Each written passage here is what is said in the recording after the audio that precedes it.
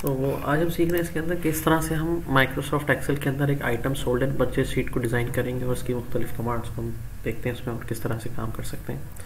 तो देखिए, ये डिज़ाइन आपके सामने मौजूद है। अब मैं इस डिज़ाइन में से अगर कोई चीज़ रिमूव करना चाहूँ तो किस तरह से रिमूव कर सकता हूँ? फॉर एग्ज़ाम्पल मैंने इसको सेलेक्ट किया इस तरह से पूरी शीट को और यहाँ पर मैं जाऊँगा एडिटिंग वाले पैनल में और यहाँ पर क्लिक करके एक ऑप्शन मिलेगा क्लियर ऑल का। जैसे ही मैं इसको क्लियर ऑल करूँगा तो आप देखेंगे सारा का सारा डेटा क्लियर हो गया। मतलब डेटा भी क्लियर हो गया और उसके ऊपर जो आपने स्टाइल्स वगैरह जो भी दिए हुए थे, वो भी इसमें से क्लियर हो गए। मैंने अंडू कर दिया। अब मैं चाह रहा हूँ कि इसके अंदर के जो डेटा है, वो सिर्फ़ डिलीट हो जाए। तो मैंने कहा क्लियर कंटेंट्स तो आपने देखा कि अंदर का डेटा सारा ख़त्म हो गया और इसका डिज़ाइन और स्टाइल अपने तौर पर बाकी है। फिर यहाँ से अंडू कर लेते हैं। और फिर तीसरा ऑप्शन है क्लियर फॉर्मेट तो आप नोट करेंगे कि इसका जो स्टाइल है, वो सिर्फ़ ख़त्म हो गया और जो डेटा है, वो अपनी जगह पे बाकी रह गया। तो ये तीन मेथड हैं, जिस तरह से आप अपने एक्सेल के अंदर डेटा को या तो क्लियर ऑल कर सकते हैं, जिसमें कंटेंट्स और स्टाइल दोनों डिलीट हो जाएँगे। और या फिर आप उसका क्लियर कंटेंट कर सकते हैं, जिससे सिर्फ़ डेटा डिलीट होगा स्टाइल रहेगा। और या फिर क्लियर आप फॉर्मेट कर सकते हैं, जिससे इसका फॉर्मेट ख़त्म होगा और डेटा अपनी जगह पर बाकी रहेगा। तो सपोज़ टू बी अब आपने इस शीट को कैसे डिज़ाइन करना है? सबसे पहले सेल पे जाके आपने यहाँ पे लिखना है item sold and purchase sheet अच्छा अब यहाँ पर भी इसी तरह से बनाते हैं कि पहले आपने यहाँ पे किसी भी कंपनी का जो भी कंपनी हो गई कंपनी या शॉप हो गई, उसका नाम लिखना है, ठीक है? यहाँ पे उसका एक नाम आ जाएगा।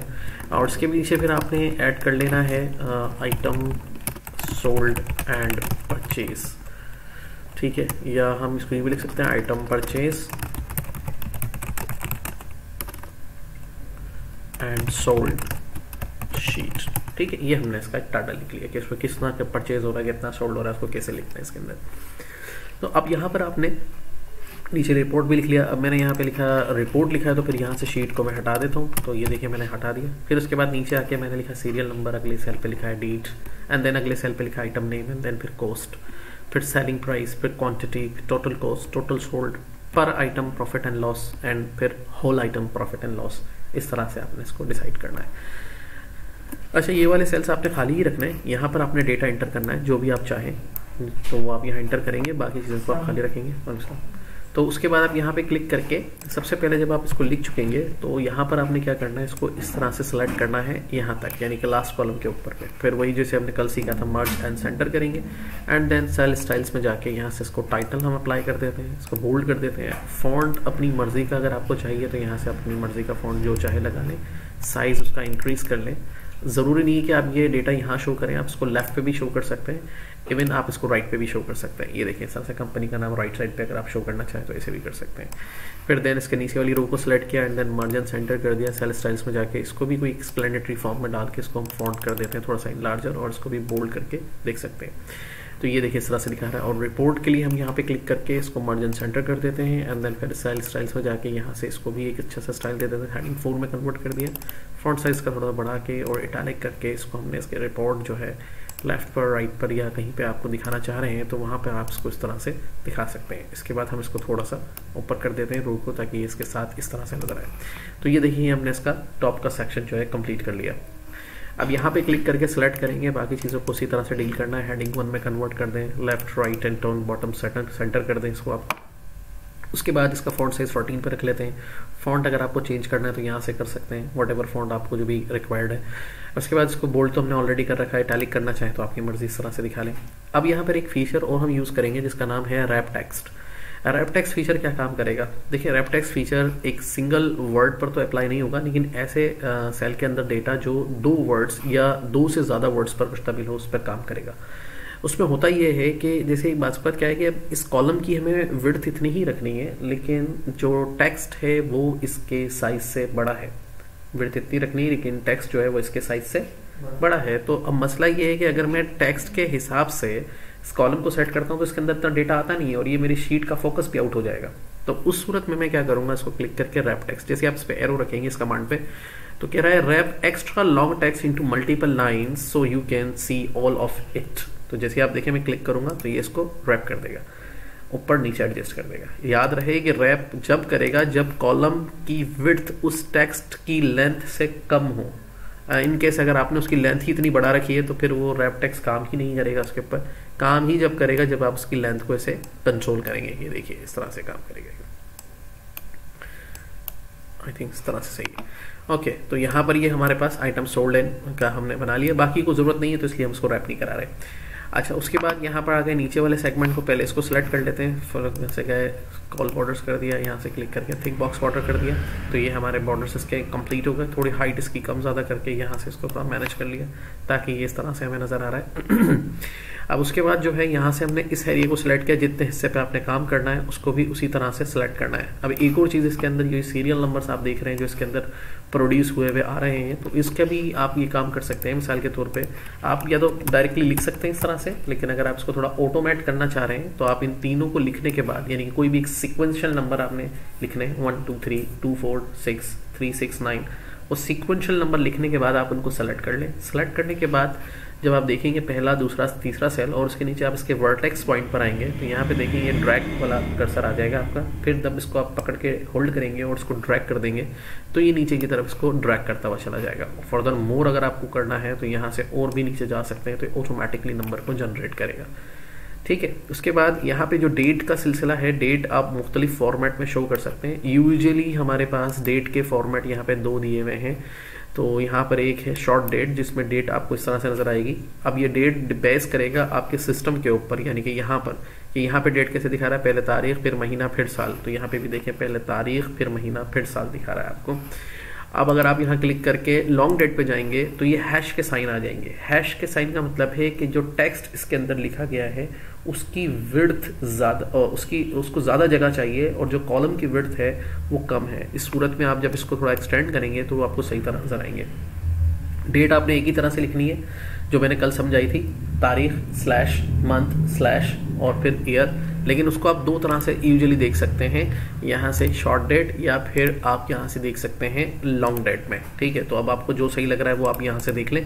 ये आपको उसी तरह से दिखा देगा। उसके बाद आपने इसको इस तरह से थोड़ा सा कम कर लेना क्योंकि जितनी रिक्वायर्ड स्पेस है उसकी के अंदर हम रहते हुए काम करें।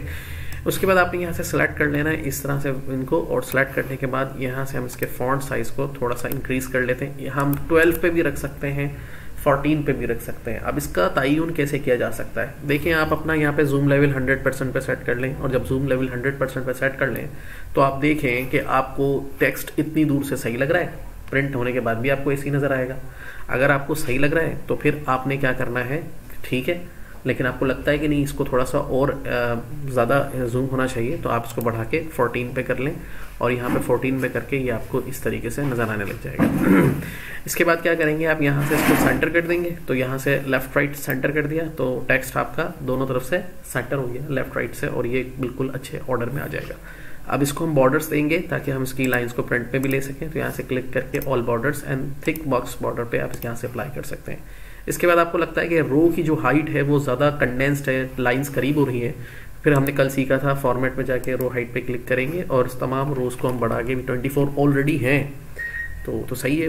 आ, चलो थर्टी कर देते हैं। ओके कर देते हैं। तो थोड़ा सा और ज़रा उसके अंदर गैप आ जाएगा। लेकिन ऐसा जब करेंगे जब एज पर नीड आपके पेपर पे भी गुंजाइश हो और आप ये कर सकते हो तो ये इस तरह से आपको नज़र आने लग जाएगा। अब यहाँ पर दो चीज़ें नज़र आ रही है। एक है कॉस्ट और दो है दूसरी सेलिंग प्राइस और तीसरी है क्वान्टिटी बल्कि मैं तो ये कहूँगा आपको जो नंबर नज़र आ रहे हैं वो एक है सीरियल नंबर एक है कॉस्ट एक है सेलिंग और एक है क्वांटिटी चार किस्म के नंबर आपको नज़र आ रहे हैं। अब अगर हम इसकी कैटेगरी बनाएँ तो इसमें तीन कैटेगरी बनेगी। एक है सीरियल नंबर दूसरा है क्वांटिटी और दूसरी है प्राइस तीसरी है प्राइस अगर इन दोनों प्राइस की बात की जाए तो प्राइस जो होते हैं वैल्यूज़ यानी कि किसी भी चीज़ की प्राइस हो सकती है, रकम हो सकती है, उसके रेट हो सकते हैं। उसको आप सिलेक्ट करके यहाँ से क्लिक करेंगे कॉमा स्टाइल के ऊपर। ये देखें कॉमा स्टाइल जो है बेसिकली ये इस प्राइस को और जैसे आप क्लिक करेंगे तो अप्लाई हो जाएगा और जब ये इसके ऊपर अप्लाई हो जाएगा तो ये आपको एक स्टैंडर्ड फॉर्मेट में इनको शो करेगा। कैसे? क्लिक करें देखिए ये स्टैंडर्ड फॉर्मेट पे शो कर रहा है। मतलब पॉइंट के बाद दो डेसिमल वैल्यू भी देगा और राइट साइड से हर तीन डिजिट के बाद एक सेपरेटर भी देगा, यानी कि कॉपा भी देगा। वो इसलिए देगा ताकि आपको बड़ी रकमें पढ़ने में आसानी हो। जैसे पाँच हज़ार तीन सौ है ये, चार हज़ार पाँच सौ है, ये वन थाउज़ेंड टू हंड्रेड है, एट थाउज़ेंड फाइव हंड्रेड है। इस तरह से आप इन वैल्यूज़ को ईजिली पढ़ सकें।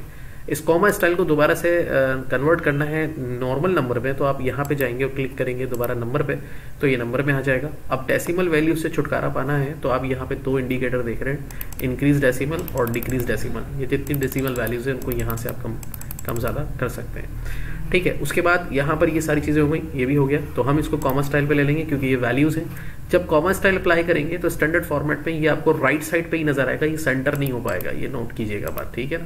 ये मैं सेंटर पे क्लिक करूँ तब भी सेंटर पे नहीं आएगा। ये कहाँ रहेगा? राइट साइड पे रहेगा इसी तरह से दिखाएगा। तो जितनी भी वैल्यूज़ होंगी आगे वाली भी, वो भी हम इसको कॉमर्स स्टाइल पर ही अप्लाई करेंगे। फ़िलहाल तो अभी आप इसको सॉल्व नहीं करेंगे। ठीक है तो ये इस तरह से नज़र आने वाला है। तो ये हमारी इसका डिज़ाइन कंप्लीट हो गया। अब दूसरी बात इसके अंदर ये है कि भाई मिसाल के तौर पे मुझे अगर कोई रो ऐड करानी पड़ जाए या कोई इसके अंदर डिलीट करनी पड़ जाए तो क्या करेंगे? भाई रो वगैरह ऐड करानी है तो इसके अंदर आप क्लिक करेंगे, जहाँ पर रो ऐड करानी है, वहाँ सेल पॉइंटर रखेंगे। सेल पॉइंटर के ऊपर की तरफ़ रो ऐड होगी और कॉलम सेल पॉइंटर के लेफ़्ट साइड पर ऐड होगा। मतलब अगर आपको इन दोनों के दरमियान में कॉलम ऐड करना है तो यहाँ क्लिक करना है इंसर्ट शीट कॉलम पे क्लिक करना है, ये देखिए कॉलम ऐड हो गया, ठीक है? और अगर आप इसको ख़त्म करना है कॉलम को कहीं भी रख के तो यहाँ से डिलीट और शीट कॉलम करेंगे तो यहाँ से डिलीट हो जाएगा। इसी तरीके से अगर आपने मिसाल के तौर पे आपने यहाँ पर जो है एक रो ऐड करानी है तो इसके और इसके दरमियान तो यहाँ रखना है इंसर्ट में जाना है शीट रो पे क्लिक करना है तो ये एक रो ऐड हो जाएगी। अब इस रो को कहीं भी डिलीट करना है आपने कहीं भी क्लिक करके डिलीट में जाके शीट रो करेंगे तो यहाँ से डिलीट हो जाएगा। इसका शॉर्टकट ये है कि इस पर यहाँ पर राइट बटन दबाएँ इंसर्ट करें इंटायर कॉलम कहेंगे। तो कॉलम ऐड हो जाएगा। अगर आप यहाँ राइट बटन दबाएँगे इंसर्ट करेंगे और कहेंगे इंटायर रो तो एक रो ऐड हो जाएगी। राइट बटन दबाएँगे डिलीट करेंगे इंटायर कॉलम तो कॉलम डिलीट हो जाएगा। राइट बटन दबाएँगे डिलीट करेंगे इंटायर रो तो रो डिलीट हो जाएगी। अगर आप किसी रो के नंबर पे, जो इसके हेडिंग में नंबर है, उस पर राइट बटन दबा के इंसर्ट करेंगे तो डायरेक्टली रो ऐड हो जाएगी। कॉलम पे कहीं भी इसके नंबर पे कॉलम के नाम पे रख के राइट बटन दबाएँगे इंसर्ट करेंगे तो एक कॉलम ऐड हो जाएगा। सिमिलरली यहाँ पे राइट बटन दबा के आप उसको डिलीट कर सकते हैं। सिमिलरली आप इसको यहाँ पे राइट बटन दबा के भी डिलीट कर सकते हैं तो विदाउट कन्फर्मेशन ये उनको डिलीट कर देगा। ठीक है, बाकी इसमें कलर्स वगैरह आपने फिलअप करने हैं, वो आप अपने हिसाब से कर सकते हैं। जिस हिसाब का कलर स्कीम बनाना आप चाह रहे हैं ब्राउन में बनाना चाह रहे हैं ब्राउन में बना लें वाइट में बनाना चाह रहे हैं वाइट में बना लें तो वो अपने हिसाब से आप इसके अंदर एक कलर स्कीम जो है, कोई भी ज्वाइन करके इस पर आप अप्लाई कर सकते हैं। जैसे हम इसके साथ इसका, इसी का कॉम्बिनेशन को यहाँ पे बना देते हैं तो ये देखिए इसका ये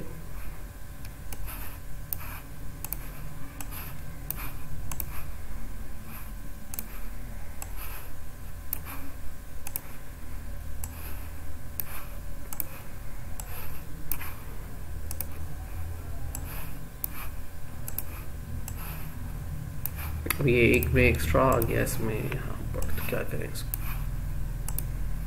नो फिल कर देंगे। ठीक है तो पहले इन दोनों को हटा के नो फिल कर देते हैं।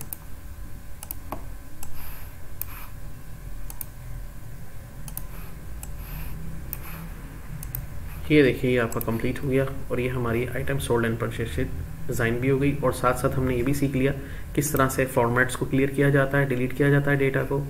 Increment decrement decimal date values को कैसे दिखाना है कॉमा स्टाइल को कैसे कंट्रोल करना है नंबर फॉर्मेट कैसे काम करेगा रैप टेक्स कैसे काम करेगा रोज़ और कॉलम कैसे इंसर्ट कराए जाते हैं, कैसे डिलीट कराए जाते हैं तो ये भी चीज़ें आपकी इसके साथ कवर अप हो गई।